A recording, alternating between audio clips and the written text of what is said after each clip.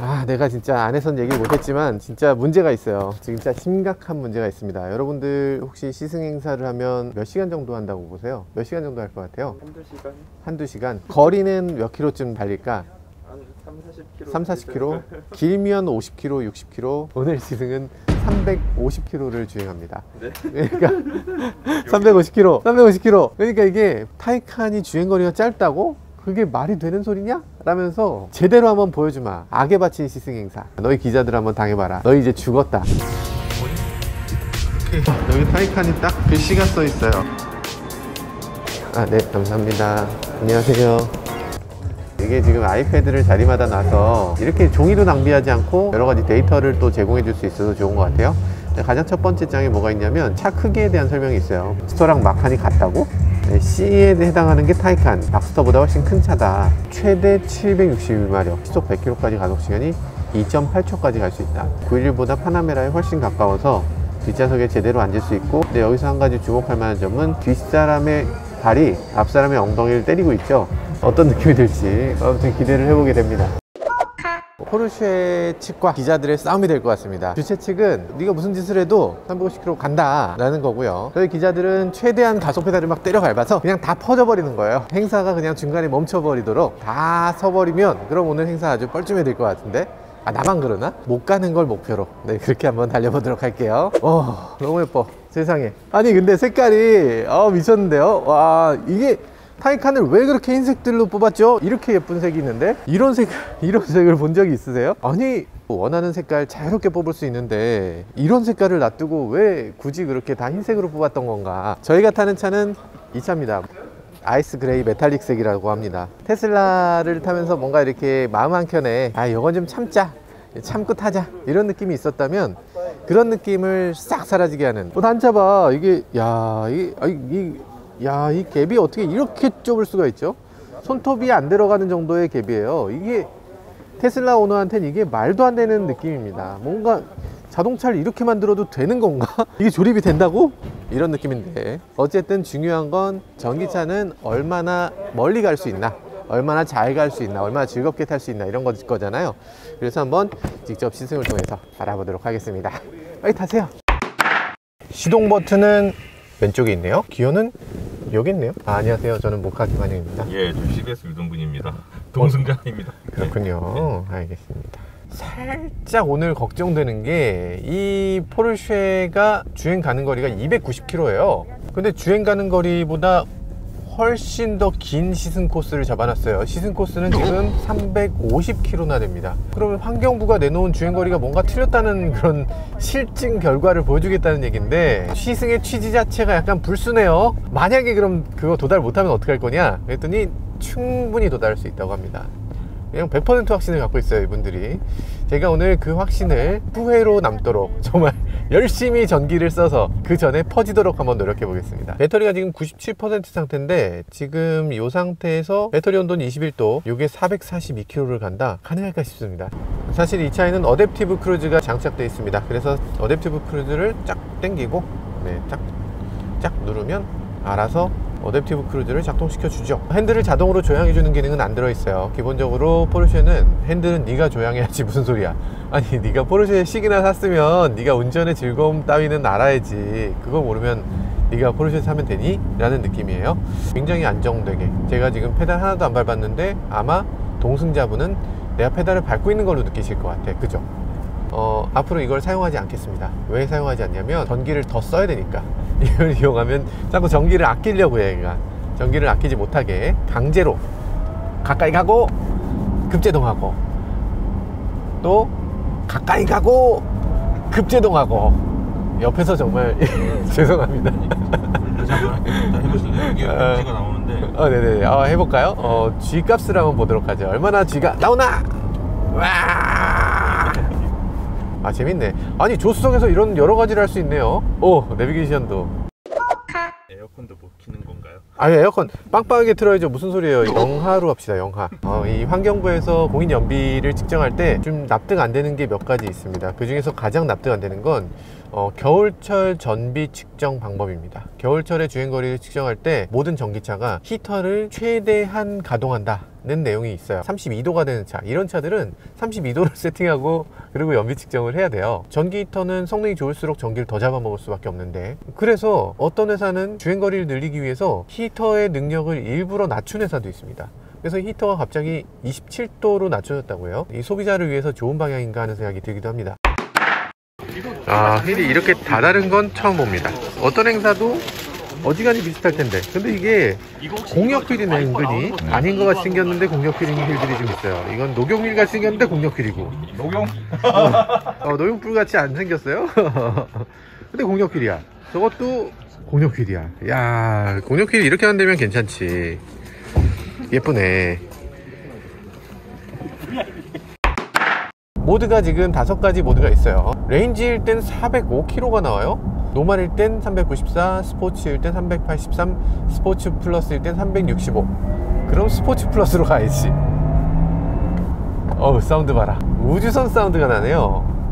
여러 가지 면에서 포르쉐답지 않은 포르쉐의 느낌도 있습니다. 그냥 보통 차로 느껴져요. 좀 낮긴 한데, 이게 포르쉐라고까지 할 것까진 아닌 것 같은 느낌이 살짝. 포르쉐 911에 가까운 차로 만들기보다는 파나메라에 가까운 차로 만들려던 노력을 한 걸로 보입니다. 네, 스포츠 플러스를 했을 때 좋은 점은 서스펜션을 더 단단하게 해줍니다. 그러다 보니까 지금 과속방 지턱을 넘는데 이 블랙박스가 띵동 소리를 내죠. 마치 어, 충돌한 것 같은 그런 충격을 받기 때문에 그런 거고요. 스포츠 플러스를 내가 하더라도 스포츠 플러스 모드에서 언제든지 아, 난 섀시만이라도 좀 바꾸고 싶다 라고 하면 사실상 이게 individual 모드인 것처럼 이렇게 각각의 모드를 조정할 수 있게 돼 있어요. 다른 자동차 자동차들은 왜 이렇게 안 하고 individual 모드는 조절할 수 있는데 나머지는 조절할 수 없다 이런 식으로 하는지 모르겠어요 포르쉐는 약간 이 운전자의 자율성을 끝까지 더 제공해주는 그러면서도 편의성을 잃지 않는 그런 브랜드이기 때문에 이런 것들 아주 세심하게 잘 돼 있는 것 같습니다 주행 모드 360km로 떨어진단 말이야 이거 괜찮을까? 진짜 괜찮을까? 이 사람들이 별로 뭐 스포츠 플러스 하면 안 된다는 얘기는 안 했잖아요 그죠? 네, 말. 그런 말 없었잖아. 충분히 간다고 몇 번이나 말씀을 하셨어요. 충분히 못 갈 텐데. 타이카는 포르쉐답지 않은 포르쉐라고 여러 번 말씀을 드리지만 어, 그래도 역시 이 핏줄을 어떻게 속이진 못하는 것 같아요. 너무 잘 만들었어. 딱딱하지도 않으면서 어떻게 이렇게 핸들의 느낌을 이건 어떻게 만들지? 대체 어떻게? 샤프하게 딱 꺾었을 때 바로 즉각적인 반응이 오는 이런 느낌은 아 요건 진짜 테슬라 모델 3 퍼포먼스로도 예, 절대 넘보지 못하는 그런 아주 날카로움을 갖고 있습니다. 어, 사륜구동 정보를 여기서 또 보여줄 수가 있는데요. 앞쪽에도 모터가 따로 있고 뒤쪽에도 모터가 따로 있어요. 그럼 앞쪽 모터를 얼만큼 작동시킬 것인가 뒤쪽 모드는 얼만큼 작동되는가 이런 것들을 보여주는 거예요. 어, 그런데 여기서 노말 모드일 때는 지금 뒤쪽 모터만을 이용하고 있어요. 그러다 보니까 더 경제적으로 가는 것 같고요. 그리고 또 이렇게 만드는 이유 중에 하나는 이 차는 2단 변속기가 장착되어 있습니다. 뒤쪽의 모터에만 변속기가 있어요. 그래서 뒤쪽 모터를 이용해서 가게 되면 이 고속에서의 연비가 엄청나게 향상되는 걸 볼 수가 있어요. 지금 저희가 정속주행 코스에 들어왔거든요. 여기서 무슨 수를 써도 연비를 더 낮출 방법이 없어요. 아우 부드러워.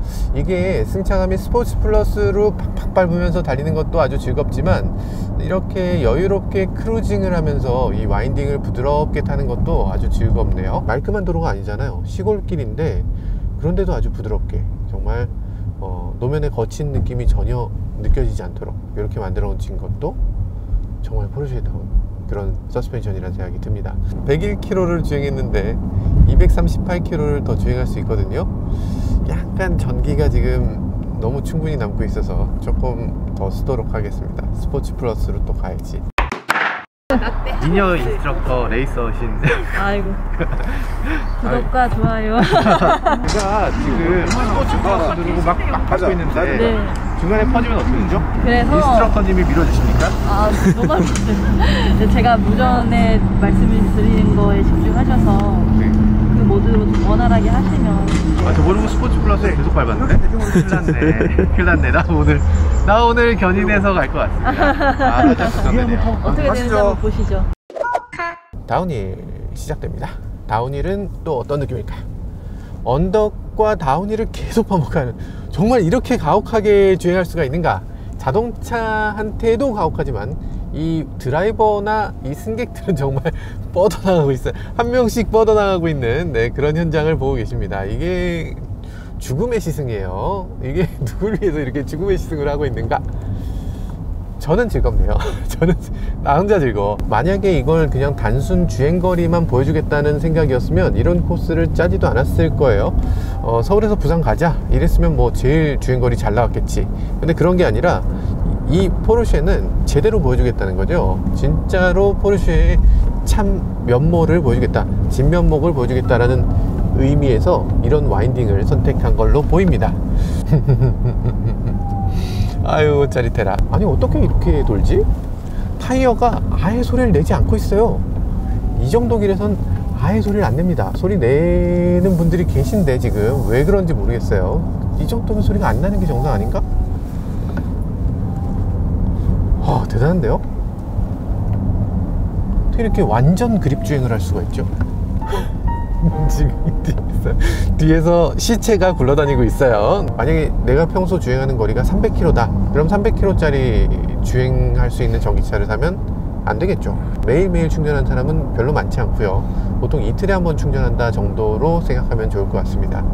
그러면 이틀 동안 내가 주행하는 거리가 몇이냐? 그리고 만에 하나 어디 또 갑자기 데이트가 생겼어. 그러면 평소에 가지 않던 데를 가야 될 수도 있잖아요. 그런 데를 갈 수 있을 정도의 거리는 충분히 돼야 됩니다. 그렇기 때문에 여러분들이 필요한 거리가 하루에 100km라면 적어도 300km는 갈 수 있는 차를 사셔야 돼요. 기존의 테슬라나 아니면 다른 자동차들은 400V 시스템을 사용하고 있는데 이 차는 800V 시스템을 사용하고 있거든요. 남들보다 속도가 두 배로 빨리 충전되느냐까지는 아니지만 이 차는 어, 피크 타임에 정말 빠르게 충전될 때는 280kW까지 충전을 받아들이는 걸 볼 수가 있어요. 보통 테슬라 같으면 어, 지금 가장 빠르게 충전할 때 250km. 그러니까 사실 그렇게 큰 차이는 아니긴 한데 이 차가 모든 것들이 갖춰졌을 때 테슬라보다 조금 더 빠르게 충전된다. 이런 것만큼은 분명해 보입니다. 그리고 또 하나 주목할 만한 건 현대차 e피트 그리고 EV 스테이션에 이 차를 꽂았을 때 충전 속도가 어마어마하게 빠르게 나오는 걸 볼 수가 있습니다. 거의 180kWh로 이 충전이 되기 때문에 뜻밖의 수혜자 같은 느낌이 들기도 합니다. 아 예쁜 거 봐요. 색깔과 이런 것들 완전히 절묘합니다. 남색이나 은색이 훨씬 더 잘 어울리네요.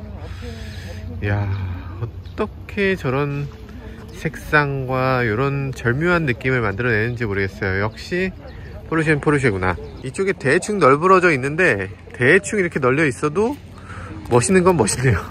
멋있어요. 그런데 저는 요즘 들어서 크롬 딜리트가 워낙 유행이지만 크롬 딜리트 없는 게 더 좋네요. 저희 PD님이 편찮으신 관계로 제가 지금 뒷좌석으로 왔어요. 뒷좌석으로 왔는데 어, 어, 의외로 괜찮은데요? 머리 공간도 생각보다 괜찮아요. 여기 살짝 닿는데 여기 이제 테슬라 모델 3 같으면 여기가 전체가 유리잖아요. 근데 여기에 약간 프레임이 있다. 그래도 이 부분이 유리기 때문에 천장을 아주 얇게 만들 수 있어서 머리 공간을 조금 더 확보한 게 굉장히 특징적인 부분 중에 하나네요. 괜찮은데요?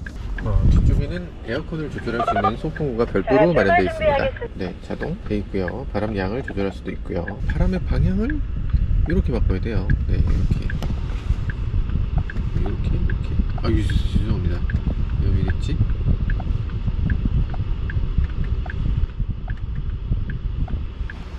이런 식으로 바꾸게 돼 있어요. 그 뒷좌석에 비하면 아유 천국이야 천국. 파나메라보다는 조금 좁다 이 정도입니다. 어 그리고 발도 아래쪽 앞좌석의 시트 아래로 이렇게 발이 들어가고요. 살짝 들어가고 지금 배터리 팩의 일부분 그러니까 뒷좌석의 발 부분을 펴놨어. 그래서 구멍이 뻥 뚫린 배터리 팩을 쓰고 있기 때문에 이렇게 뒷좌석의 발 공간이 조금 마련되어 있고요. 그래서 어, 뒷좌석에 앉은 사람의 이렇게 다리 부분 아래 이 아래 부분이 거의 시트에 달라붙는 걸 볼 수 있어요. 만약에 일반적인 전기차라면 조금 더 올라와서 이런 식으로 조금 들리지 않았을까 그런 생각이 들기도 합니다. 지금 이 정도라면 뭐 나쁘지 않은 그런 승차 공간을 보여줍니다. 어, ambient light가 있군요. 뒷좌석에서도 이렇게 ambient light가 나오는 걸 볼 수 있네요. 오, 좋은데 생각보다 밝아요. 생각보다 고급스럽고 괜찮습니다. 멋집니다. 아니 차로 등산을 하면 안 되지 왜 차로 지금 등산을 하고 있죠? 어마어마합니다. 어 세상에 전기 다 쓰겠어요. 이게 쫄리는데 주행 가는 거리 255km 남았습니다 255km밖에 안 남았는데 우리가 지금 주행한 거리가 74km 그러니까 지금 산수상으로는 안 돼요. 조금 예, 부족합니다. 일단 이렇게까지 와인딩을 세게 돌릴 거라고는 생각 못했습니다. 와 대단하네요. 이게 차의 내구성은 그렇다 쳐도 이 승객들의 내구성이 지금 승객들이 버티지 못할 것 같은 상황이에요. 좀 전에 밥을 먹이고서 저를 이걸 태웠거든요. 오속이 오속이. 어. 저희 PD는 죽었습니다. 네 이미 이미 한 명 전사했고요. 지금 제정신이 아닌 상태로. 멀, 멀미 상태로. 멀미에 접어들었어요. 도대체 이 시승은 누구를 위한 시승인가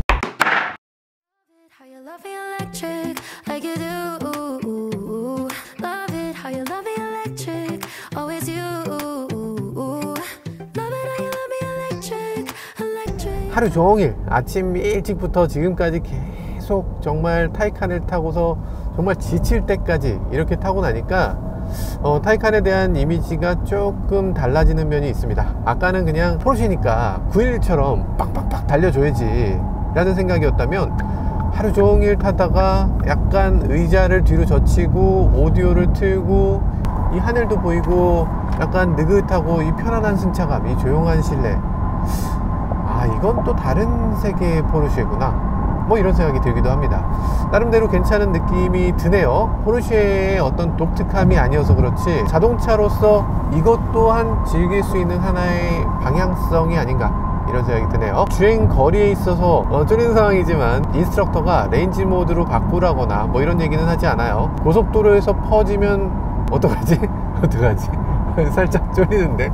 전비 운전을 하게 되면 지금보다 훨씬 잘 달릴 수 있을 테지만 그런 식으로 달성하는 350km가 무슨 의미가 있겠어요? 그러니까 계속 변치 않고 이렇게 그냥 터프하게 달리는 그런 느낌. 아, 까진 아니어도 그래도 일반적으로 달리는 느낌. 이런 정도에서 이 거리를 달성할 수 있는지를 살펴보겠습니다. 1km 부족해. 1km 부족해. 1km 부족하면 어떡해? 우리 어떻게 하나? 오! 2km 부족해졌어 아니 이거 이러면 안돼. 이러면 안돼. range 모드 가자 안되겠다. 아 세상에. 그러니까 에어컨을 껐어요. 어 에어컨 끄니까 5km가 늘었어. 5km 늘었어. 어 야 이거면 갈 수 있겠다. 아 세상에. 약간 차 번호도 왜 하필 4번을 받았지? 왜 자꾸 이렇게 아 뭔가 dead flag가 뜨네. 1% 1% 3kg. 잘하면 0%가 되는 것도 볼 수 있겠네. 0% 되면 저분들은 어떻게 충전하지? 아 이거 이게 몇 번이나 말씀드렸는데 살짝 걱정되네 배터리를 즉시 충전하십시오 라고 떴어요 즉시 배터리가 제로가 됐어요. 어, 맞네. 큰일 났네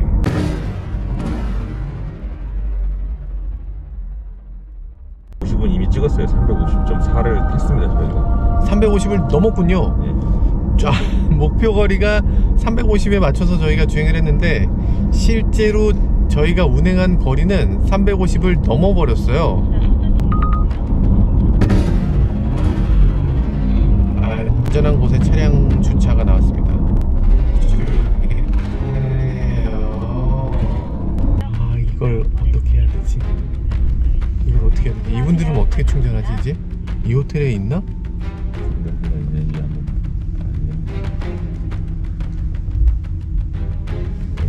오, 오긴 왔네요, 그래도. 지금 그럴 때가 아닌데 배터리 단량 위험이 떴어요 이거 시동 바로 이거 바로 끌게요 네.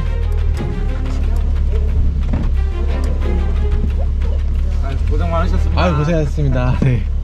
어 세상에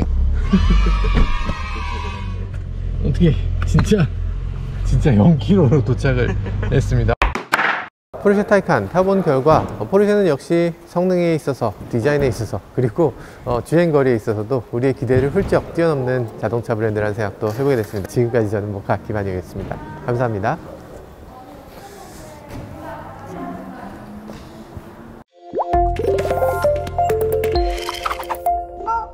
역시 어, 포르쉐 다양한 것들을 보여주지만 오늘은 주행거리에 있어서 정말 어, 남다른 능력을